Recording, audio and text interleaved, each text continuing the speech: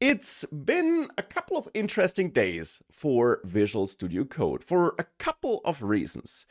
One reason is that a big new update dropped. I mean, Microsoft, the Visual Studio Code team, releases a big update every month, but the last update was basically branded as a reintroduction of GitHub Copilot. Because, of course, clearly Microsoft is trying to catch up with Cursor and Windsurf because they don't want these forks of Visual Studio Code to eat their lunch. So, what did they do? Well, they basically added agent mode to GitHub Copilot to give you the same kind of integrated coding assistant, coding agent that Cursor and Windsurf also offer in their IDEs with Cursor Composer in agent mode, for example.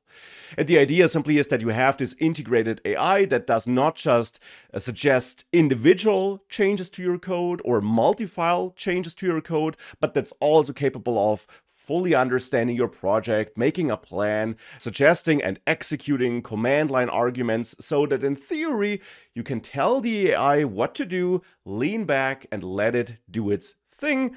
Though that has not been my experience. Neither with Cursor nor with Windsurf, and also not with this new agent mode. I played around with it this weekend and also with Windsurf again just to validate if it's just GitHub Copilot and for me, it consistently fails at simple tasks if it's more than just adding an individual feature or just doing this one refactor. I asked it to build a very basic website with Astro.js and I leaned back, let it do its thing, and it looked horrible. Something's broke.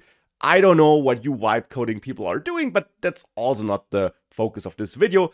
The main thing is that VS Code now also has this agent mode, and for some things, for, as I said, small changes, individual features, refactorings, it can indeed be useful. Also useful is this next edit suggestions feature, which actually was already added a couple of weeks ago.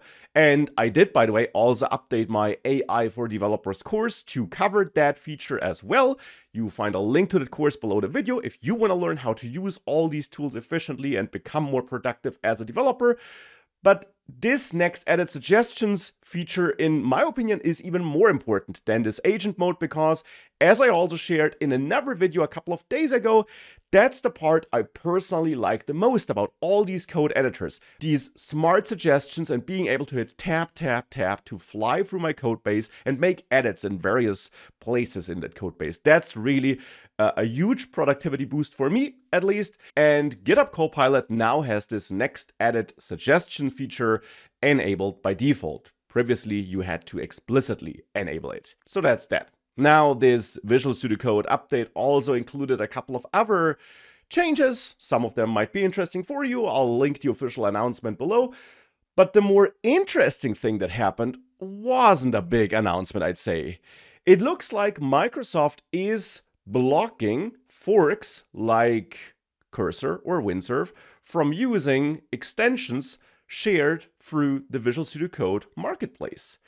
And what they're doing there actually is enforcing a license restriction that has existed for at least five years. So this is actually not a new thing. The new thing only is that Microsoft now really seems to use this legal trick, though it's not necessarily a trick, I'd say. It's been there for five years, but they're now using this to also hurt their competitors, to hurt Cursor and Windsurf, because clearly Microsoft has no interest in maintaining this open source product and then have their competitors eat their lunch. Now, of course, it's open source.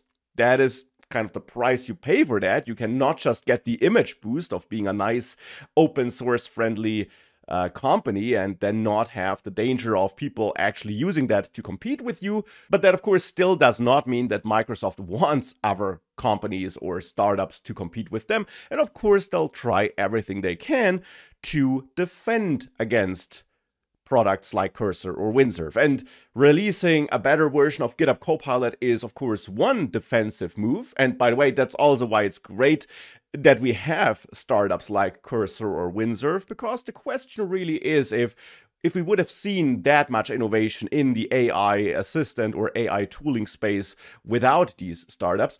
But of course, making a better GitHub Copilot is just one thing Microsoft will do.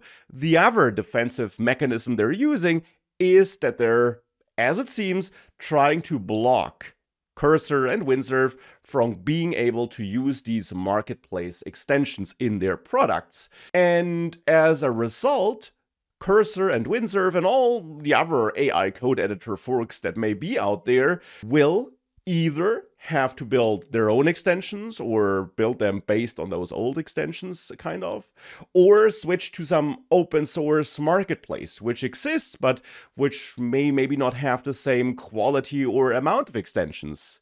Because, of course, Microsoft will try to use its strong position as one of the most popular code editors out there and this vast ecosystem of extensions that has been built for Visual Studio Code to their advantage. They will try everything they can, I guess, to defend against Cursor and Windsurf, and this is definitely a quite powerful first step or second step besides making GitHub Copilot better.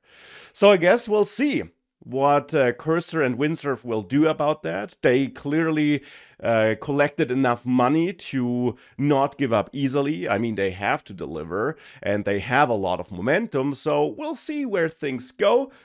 But it's interesting to see that Microsoft is stepping it up and um, that in the end, maybe in a couple of years, we may be back to Visual Studio Code and Cursor and Windsurf might just have been innovators that introduced interesting features, but that ultimately might not be used anymore. But we'll see what the future holds, I guess.